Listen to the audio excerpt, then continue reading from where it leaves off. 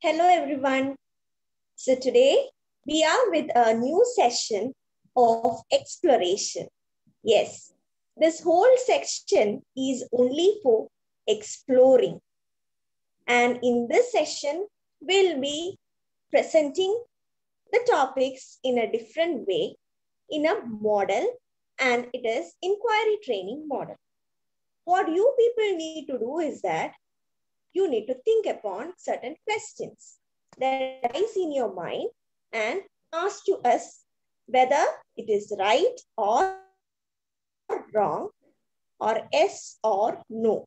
So the question should be either yes or no questions and the reply from us will be yes or no. So for that, we are presenting some of the pictures related to curiosity to explore the world. So here comes the first picture and you may just spin upon it.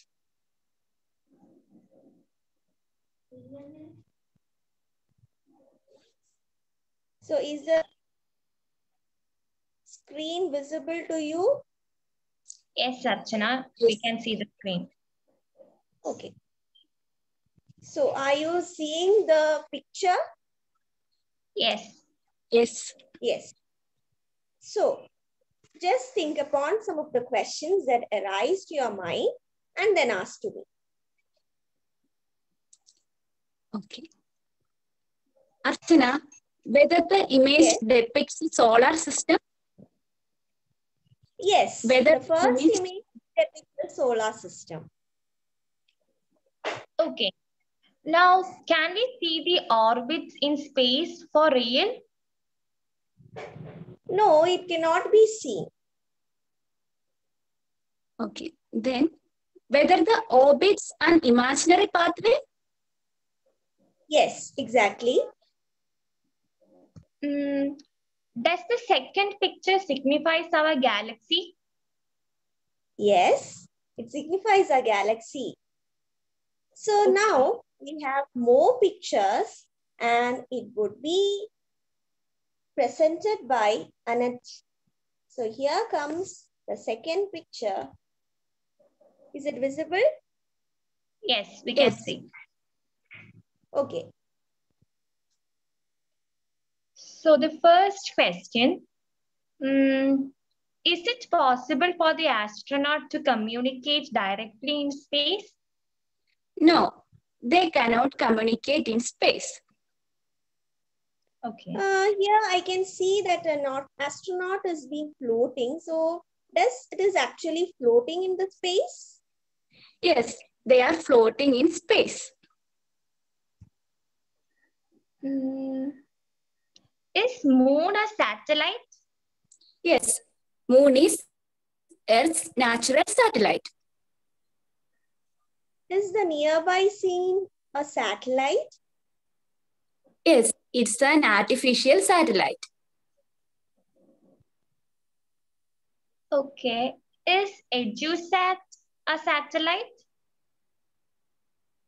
Yes, it's a, it's also a satellite. So does these satellites have any role in our daily lives? Yes, satellites plays many roles in our daily life. Okay. Okay. Now, let's see some more pictures. For this, I'm sharing my screen.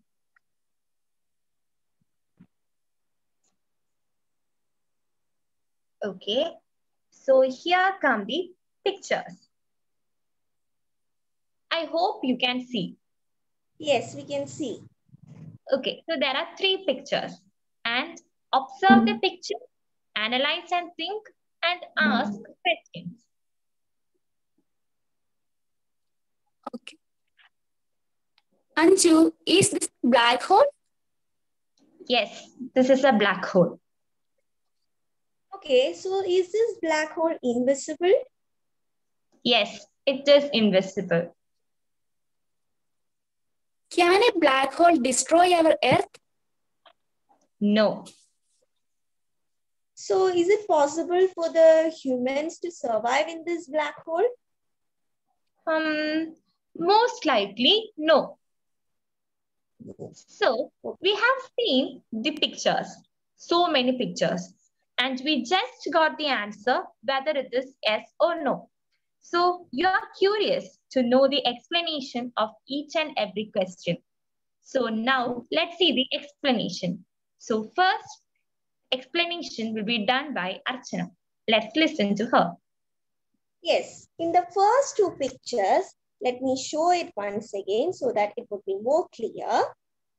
Yes, I'm once again starting my presentation. And here you can see the picture. Yes, so these were the two pictures you were seeing, right? And this actually depicts the solar system.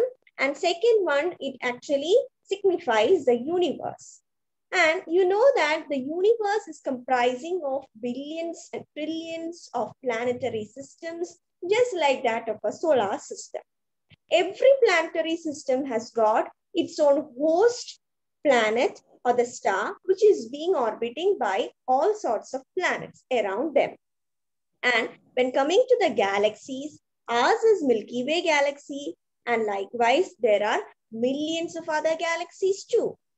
And this Milky Way galaxy, it is actually having a shape of spiral. Whereas there are further other two shapes or the types of galaxies, which could be either elliptical or spiral, or even it could be anything which is related to irregularity, or it could be an irregular shape. So that's about the explanation of these two pictures. Now, we can go for the explanation made by Annette. Okay, here in the first picture, we can see two astronauts are facing to each other. We have said that uh, they cannot communicate. The reason is that there is nothing like atmosphere in space. So there is no medium for the communication. So sound waves cannot travel. That's the reason why astronauts cannot speak in space. Next picture, we can see an astronaut is floating. The, the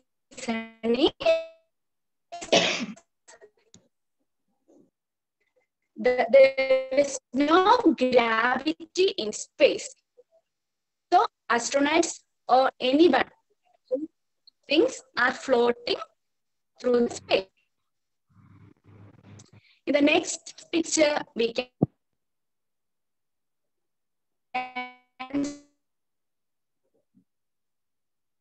see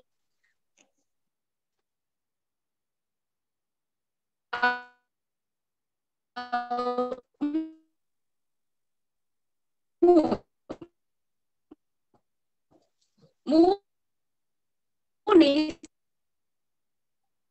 Is our natural satellite since it revolves around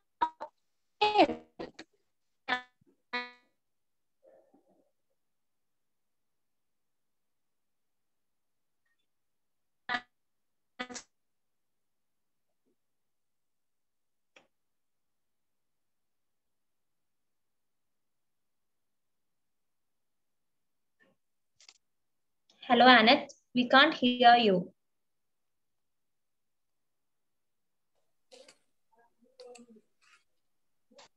Okay, I have some network issue. Okay, now we can Let's continue. Okay, here we can see. Okay, here we can see a satellite, which is an artificial one. Moon is a natural satellite.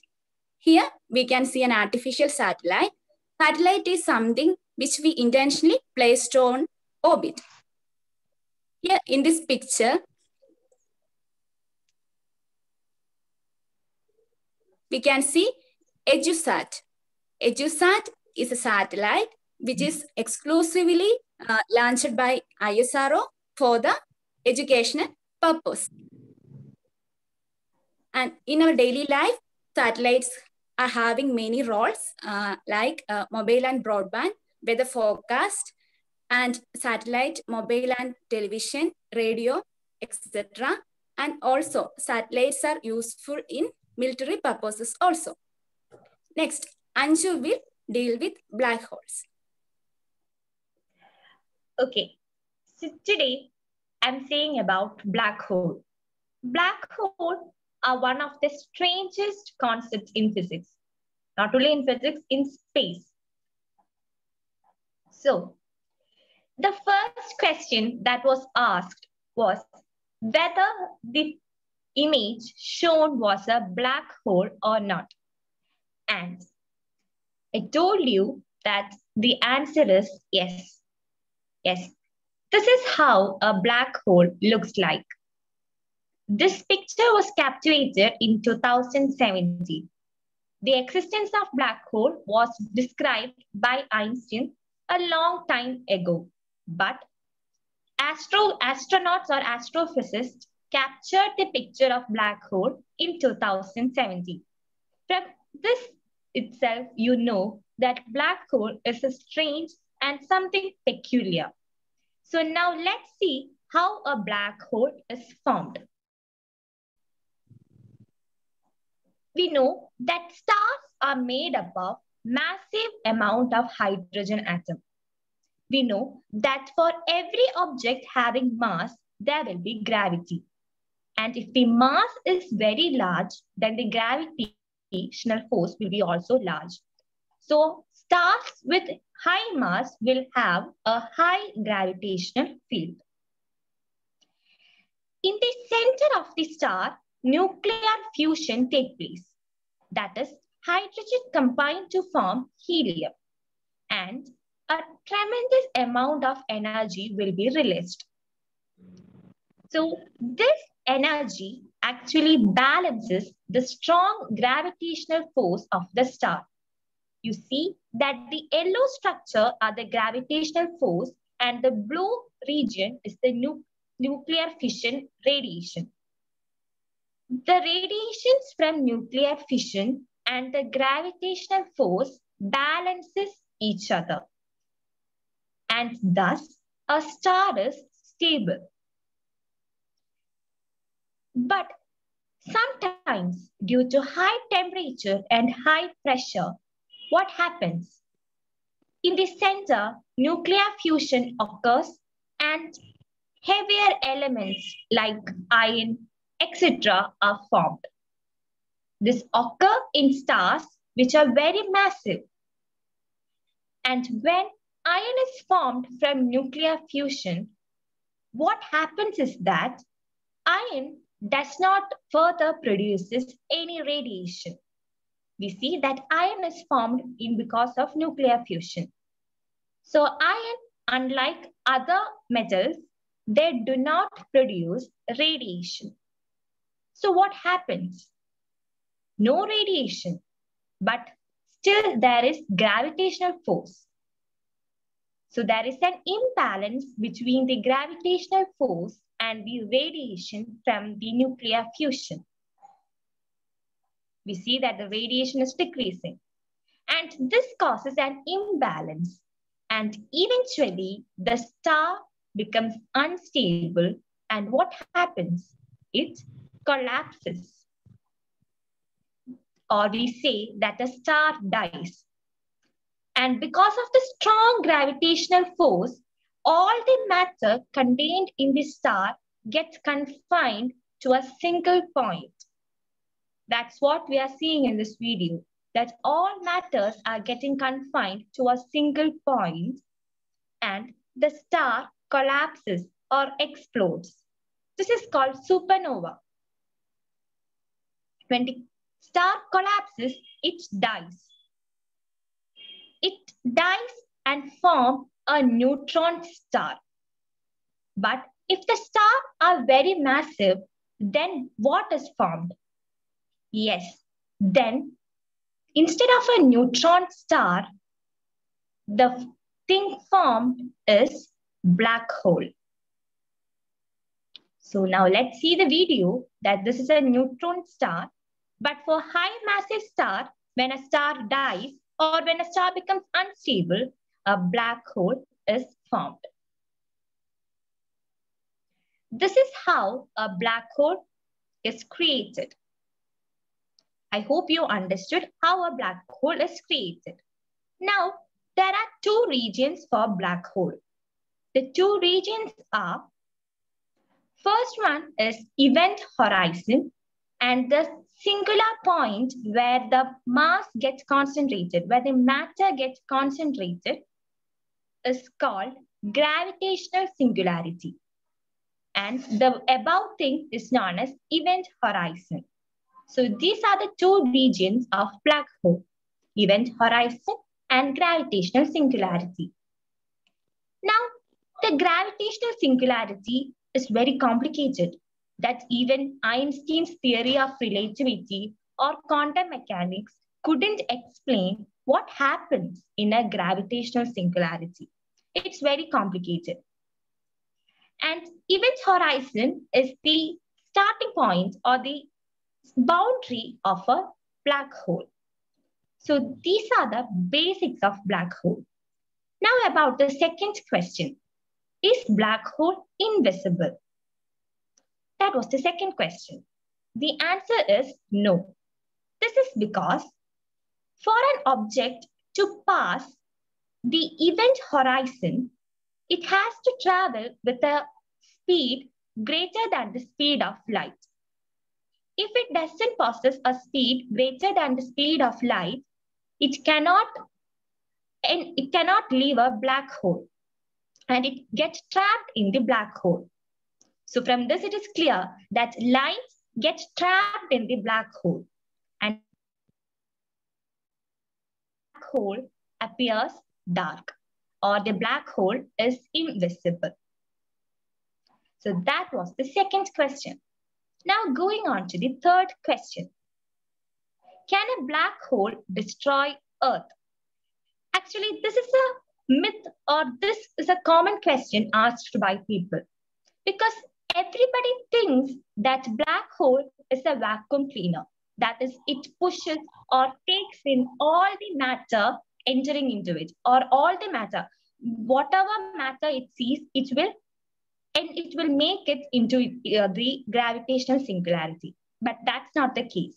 For example, if the sun is replaced by a black hole or the sun collapses and becomes a black hole, nothing happens to our earth the earth will continues to revolute, revolute uh, continues its revolution because earth just need a gravitational force to keep it in orbit. It's getting the gravitational force from the black hole. So the earth revolute, uh, continues its revolution but since we are not getting the sun's heat we will freeze. The earth completely freeze. Now the third question. What happens when we fall into black hole Actually, this is a tricky question. And I told the answer, it's no. I mean, not no, that a human being will not survive in a black hole. This is because if a human being fall into black hole, he gets ripped off. Why? Because there is a strong gravitational field. We can see in the picture that the bird's feather, the bird's uh, bone, all are getting ripped off because of the strong gravitational field. So human beings cannot survive. I told this is a tricky question because we don't know any human being and entered into a black hole. So we are assuming, not assuming, most likely a human being cannot survive. So that is the basic concept of black hole. Hope you found it interesting. So in today's class, we learned mainly about galaxies, then we learned about satellites, some examples of satellites, and then about black hole, its formation, and some questions related with it. Hope you understood. Now, let's see the review questions presented by Archana.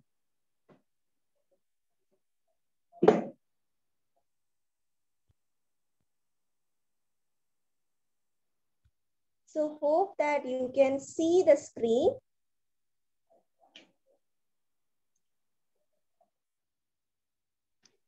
Yes, we can see Right. the screen. Okay. Oh, oh, sorry, I, I have to present the screen. Uh, I'm sorry. Sorry, Archana. Can you stop presenting? I forgot. Okay. Uh, sorry for the inconvenience. Just a minute. I will present.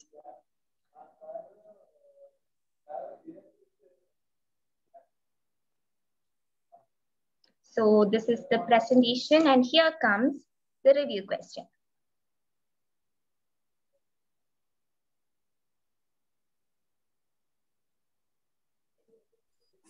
Yes. The first question. What are black holes? Second one. How are black holes formed? Third one. Why is a satellite? What is a satellite and its benefit in our daily life? Fourth one. Briefly explain Milky Way galaxy.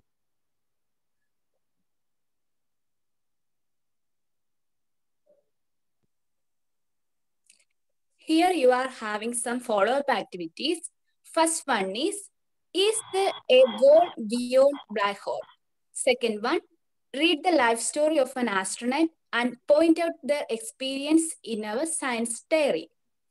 Third one, comment on the statement, everything bound to its gravity. What does it signifies in the statement?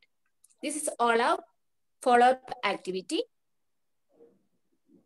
Okay, so we saw the review questions and follow-up activity.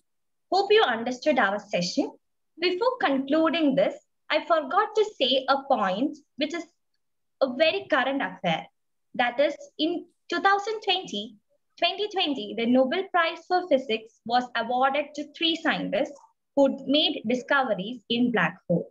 They are Roger Penrose, Reinhard Genzel, and Andrea Ghez. Hope you will remember these three great scientists. And I think we you understood our session. And if you have any doubt, feel free to contact us. So with this, our team is signing off for the day. Thank you and have a nice day. Thank you. Thank you.